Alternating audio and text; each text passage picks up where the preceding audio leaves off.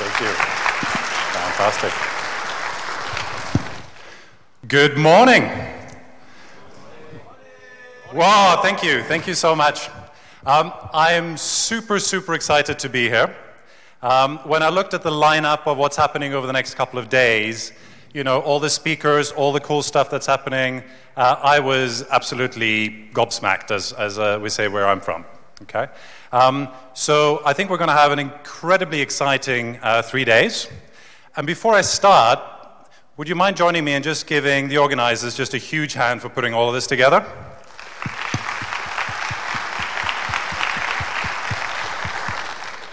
Absolutely amazing, and I, I can't wait to get started. That being said, I'm absolutely terrified of standing in front of you now. One, because of all the speakers and all the people who are experts in their fields out there, but also because I'm actually going to tell a, a pretty personal story about how I get involved and actually published my first open source project when I joined Google. So, for many of you guys, you're experts in the open source world, and what I'm thinking of doing today is actually sharing my personal story of how, in the second week of my job at Google, my boss asked me to publish open source code for the first time in a language I'd never used, using a service that I'd never heard of before. So, uh, I'm a little bit terrified. Um, what I do hope, though, is for those of you who have been thinking about you know, contributing to open source, getting involved, maybe you know, sharing my story will help you as well if you were scared as I was, you know, making all the mistakes and so forth to just do it, try it out. And I also want to give a, a few learnings that I found out as I went through my journey, okay? And in passing, if I can share a little bit of detail about you know, some of the cool stuff that's happening on the open source front in Google, then I will have accomplished it. Um, we're also running a little bit late, so I'm going to try to make my talk a, a, a, lot shorter so that we get to coffee break uh, on time. You do not need to take photos of any of my slides. I'll give you a GitHub link at the end where all the links and everything are. Okay, so just take photo of that. Okay, applause. Wow, okay, is that to get off stage or is that to not to take photos? Um, and uh, yeah, so let's, let's get started. So I'll talk about three things. First of all, I'll share just very quickly a few of the projects um, that is related to uh, Google Cloud. Now, these are not owned by Google Cloud, and these are my personal picks, okay? But Google Cloud, where I work, um, we do have managed services in this, so they're kind of related, but they're not owned by Google Cloud necessarily, okay? The second is how do you contribute? How do you actually get involved and contribute to some of these projects?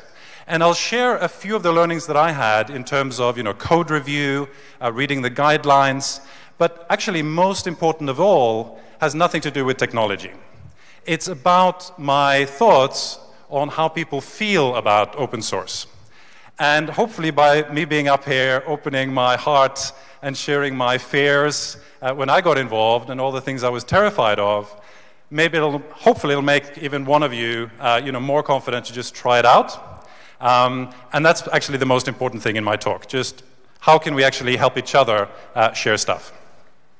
So, without ado, um, I thought I'd share a little bit about how I think about Google. I've only been in Google for about two years. I'm not an expert in all of these things, but in my discovery, I found that as Google got started, they created a lot of really impressive, fantastic, you know, world-leading technologies to solve problems that they had at huge scale.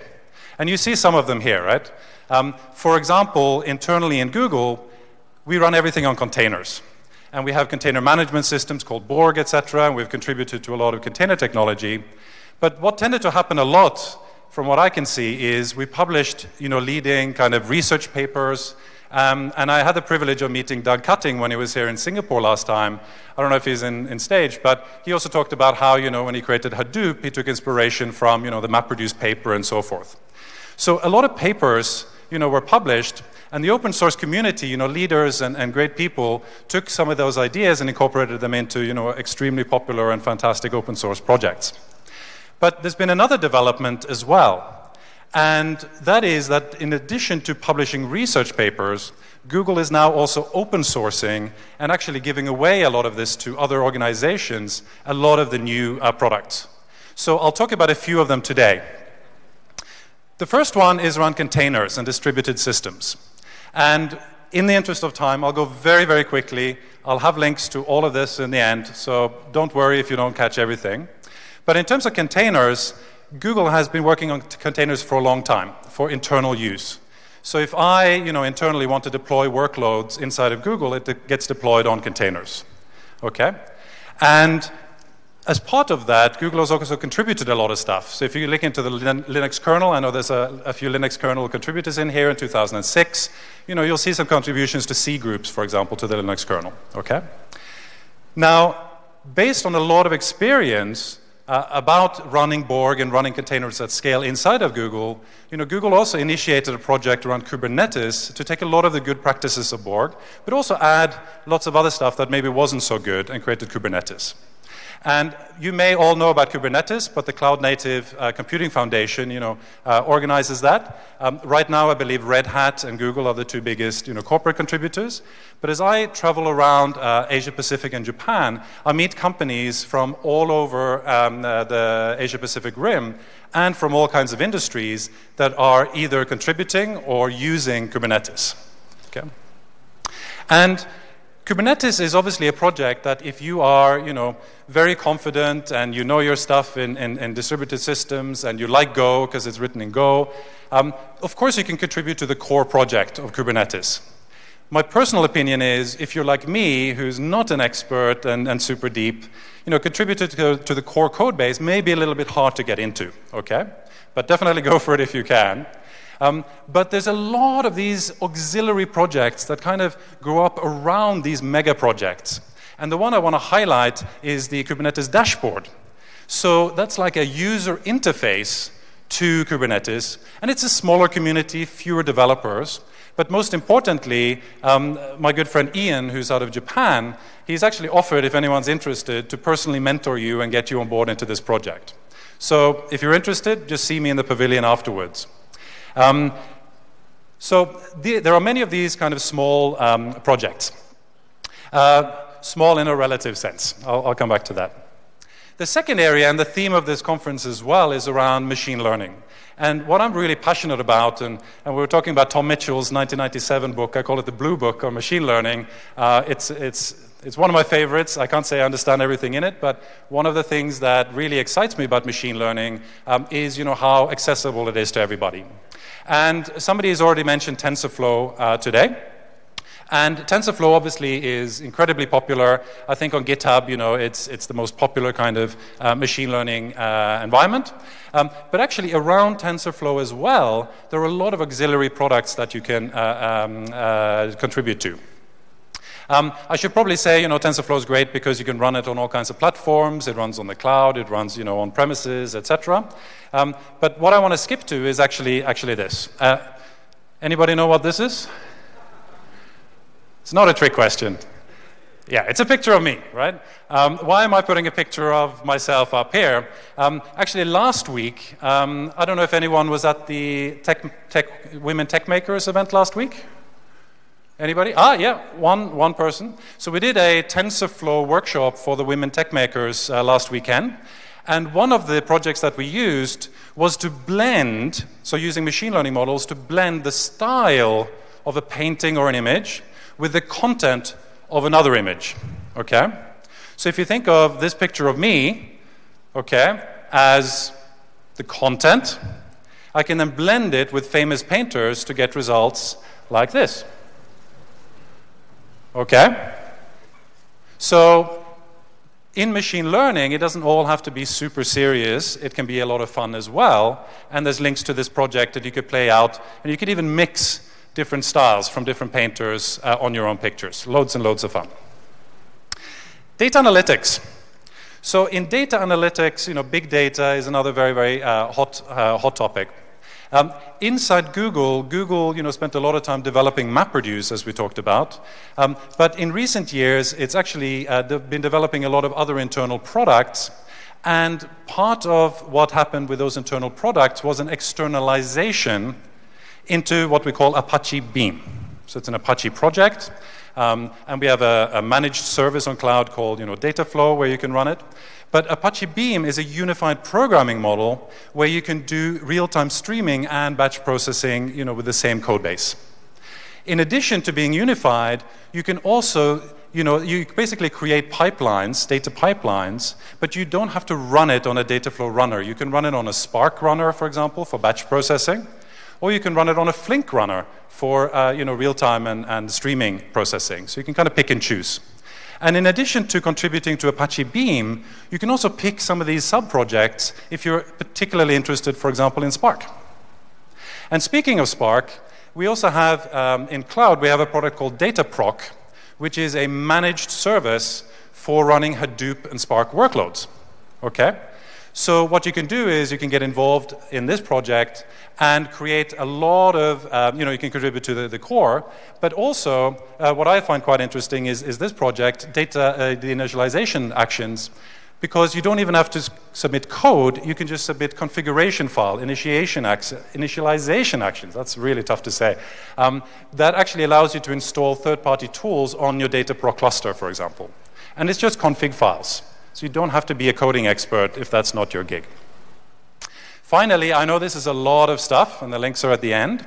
Um, a lot of these projects you know, may require a little bit of core knowledge and some time to, to investigate. But there is a lot of client software connectors uh, and other pieces that you can contribute to. And the main landing page is this one here on Google Cloud Platform. And I counted yesterday, there were 483 different GitHub repos here alone. Okay? And this you know, includes connectors to different uh, you know, data analytics tools, it includes clients.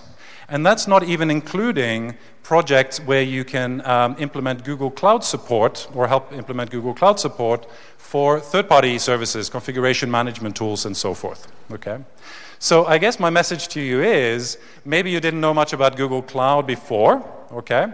Or that you could get involved in projects, but literally in that ecosystem, there's a lot of projects that you can get in, uh, involved in depending on your interests. So now I've talked a lot about kind of some of the stuff you can get involved in. Um, in terms of my personal story, when I started in Google, I was asked to implement uh, something in R. I'd never done R before, and I was uh, going to publish a predictive analytics uh, solution using BigQuery, which is a data warehousing tool, and R.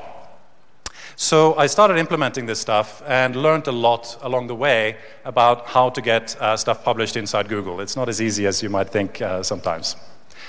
But I published it after a lot of sleepless nights and, and weekends uh, working on it.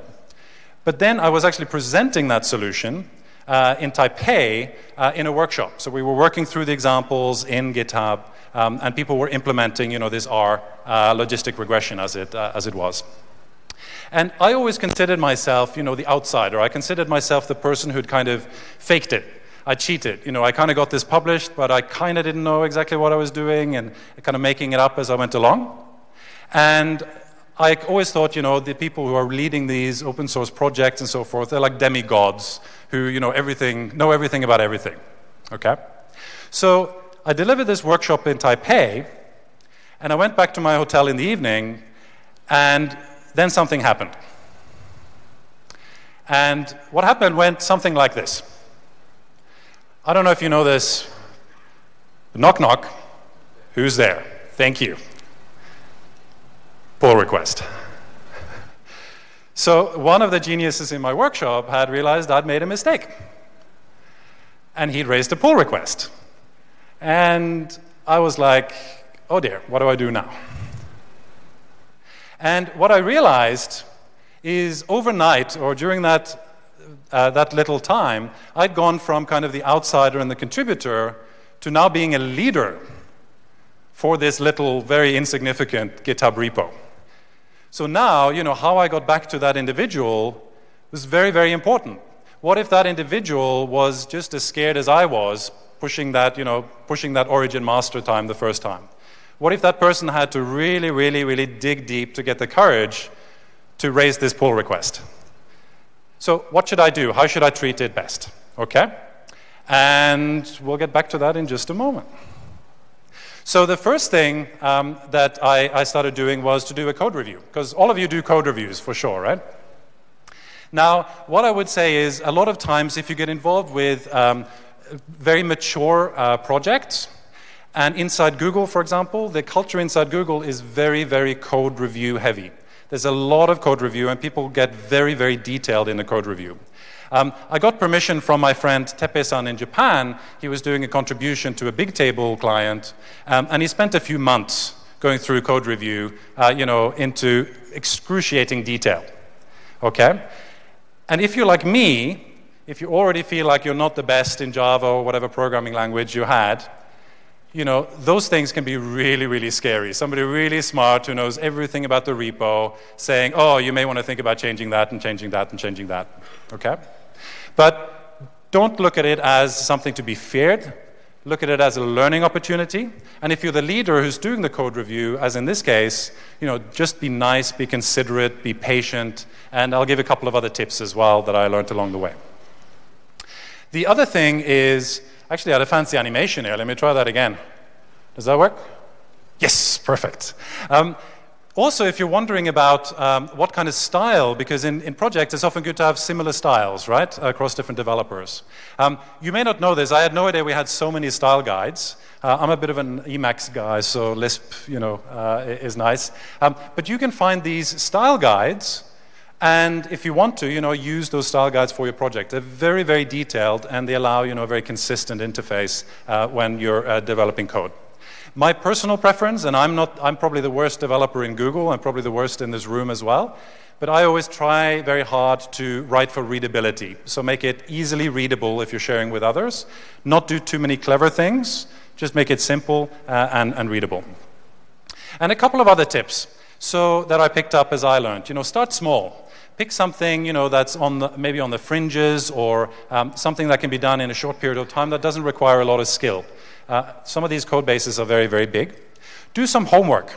So most of these projects have contribution guidelines that you should go and read. Okay? Make sure you've read everything about contributing. You know, do they prefer you emailing them directly? Do, you, uh, do they prefer you opening a bug and going through a formal process? Just do some homework before you, uh, you start contributing whatever you do, I wouldn't recommend you know, spending months creating the next great version of the software, send a pull request, and then you know, be disappointed if, if it doesn't work out. And finally, and this is super important, and actually my team does a lot of this, code is not everything. In fact, it's often a very small part of the overall projects. So there's everything from documentation, creating tutorials and examples, arts, graphics, translations. I mean, I work across Asia Pacific just translating things, and often it's translating from Japanese. Because when I search for very specific technical terms, I normally end up with a Japanese blog who solved exactly that thing. So I can see all the commands in English, and everything else is just gibberish to me. So translation is another you know, super important uh, contribution. If you're a leader, and maybe you don't consider yourself a leader yet, but just like me, you know, you don't have to be, you know, a demigod to be a leader. You can be a small leader for, for a very small part. If you are a leader, just realize the potential impact you have on the people who want to work with you on the project. Just realize that you don't have to show off how clever you are or anything like that. Just consider you can have an outsized impact on the people.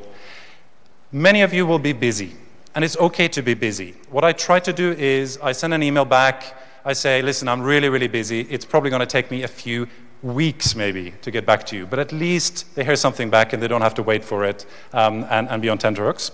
And it is possible, I think, to be honest and kind, even in a code review. So just try to be uh, nice and, and, kind to each other, is my uh, feeling. Kubernetes project has a great community expectation guidelines document that I think is, is, is a great example of, of how to uh, engage each other.